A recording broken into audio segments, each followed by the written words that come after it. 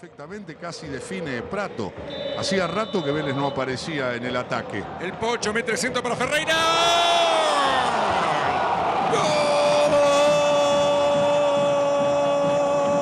¡Gol de Vélez! Gol de Vélez, gol del campeón, gol de Ferreira, gol de Facundo que suma.